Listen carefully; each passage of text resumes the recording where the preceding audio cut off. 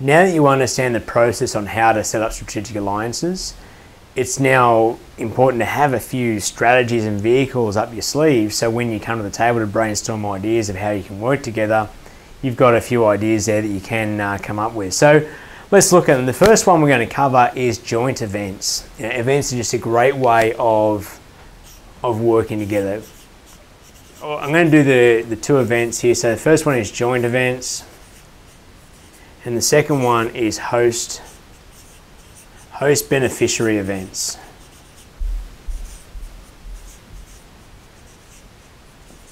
So joint events is where you run like a trade show or an education or some kind of value add for your customers. And one or, or, two or more of you, however many partners are involved in running the event, you all are hosts, you all help drive people to the event, you all do marketing to, to fill the event, and you all get a chance to expose yourself in the event. If it's a trade show, then you've all got booths up. If it's an educational event, you all get a chance to speak.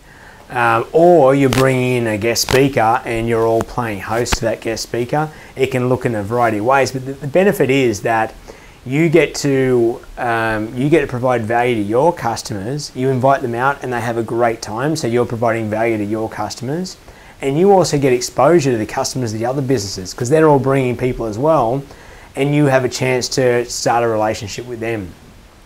Some important things to consider when you're doing uh, a joint event is you want to have a mechanism in there so people can initiate a relationship with you. And that mechanism needs to be talked about with all parties so you're, all not trying to do you know a different thing each. And so when people who arrive they're getting bombarded by five different uh, companies to, to get their contact information and follow up. Look, that, that might be all right if it's a trade show. You've all got a, a place there where someone can drop their business card in, no problem. If you've got a speaking event uh, where three of you are speaking, you don't want to have three different feedback forms that people sign up to say, okay, yes, please follow up with me. You want to have one feedback form that lists all of you on there that someone can tick off to make it easy for the people there.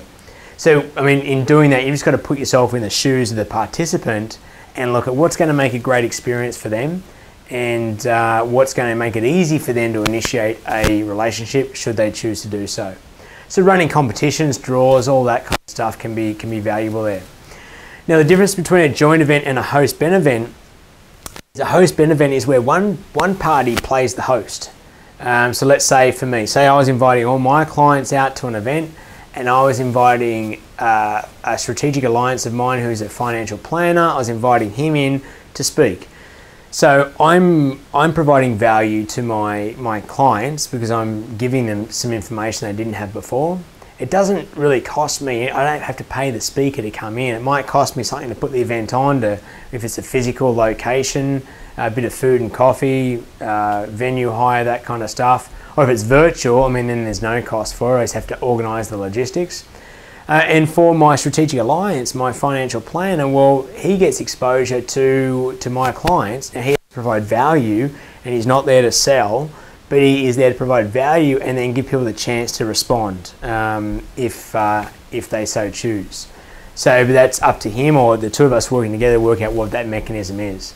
So that's a, a way to run a host ben event. Both of these are very very powerful.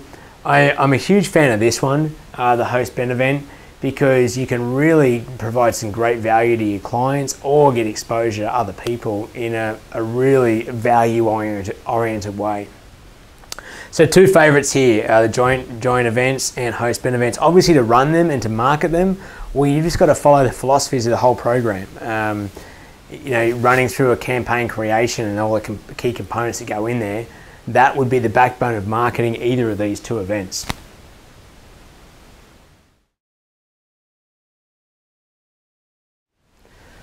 So the next one we're talking about is cross promotion. Now this is where we have an offer of some kind that goes to our alliances database. And it can work both ways. So you might provide something to your alliance, they might provide something to you, or it can just go one way um, as well. You can just provide an offer for someone else. And the way you might do that is there's a couple of vehicles. One is invoice stuffers. So stuffers, invoice stuffers. It could be uh, email or uh, or direct mail. Right, you'll um, your alliance partner might send a letter out promoting you to to her um, her clients or an email. Uh, it could be in store. Right, if you've got a physical location where you've got customers coming in, you can have some point of sale there. They might get given something when they when they check out, or after they've they've been in. They might get something when they arrive. Uh, it might be, you know, in these cases here, it might be a thank you that goes out to customers. So, you know, here's a, a, thank you for our A-list customers. Um, thanks for being a great customer as a, a, benefit. We're going to provide you with X, Y, Z. I had a, a couple of clients have done this one. They set up an alliance. Well, one one example in particular was a, physio company that set up an alliance with uh, a local farm who produced. This was a Canadian client produced maple syrup. So they organised uh, to send out little uh, as a little jar of, of you know high grade maple syrup to their A-list clients, and so their, their clients would go out to pick it up, and when they're out there, they get their free maple syrup, but invariably they buy some other stuff from the farmer as well. So it was a great uh, great cross uh, cross promotion. So these can be great. I mean, you can do these with any number of uh, partners, but it can be a nice, simple way to, to get some traction.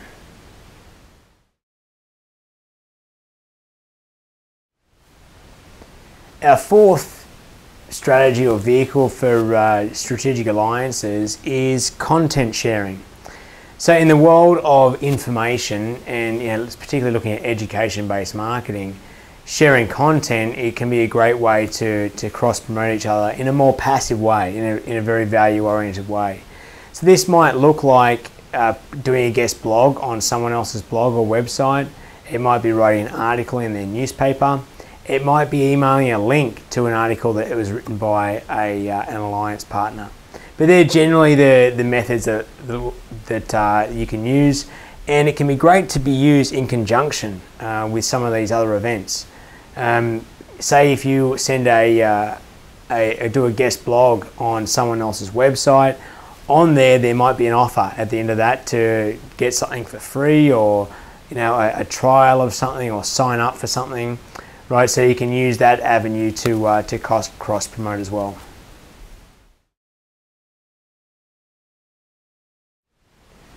And finally, number five is the good old fashioned referral.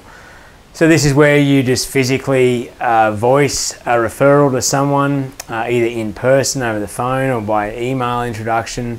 But really the most powerful way that this can happen is if the referral is facilitated. And what I mean by that is, you know, let's say I was referring uh, my financial planner friend to one of my clients. I would actually do an email introduction between all of us, give a bit of a background and, and a nice warm introduction that um, that facilitates the the relationship starting.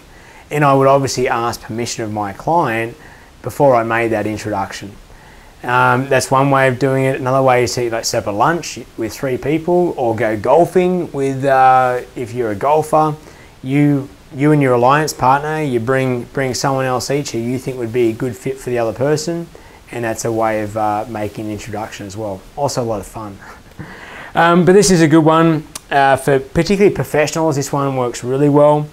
If you've got a larger database, um, you might need something a little more leveraged, like uh, an active referral program, where and that could tie into some of this cross promotion stuff as well, in-store promotion particularly. You could run competitions for your alliance partner. You know, you get to win something that your alliance partner is giving away that's high value.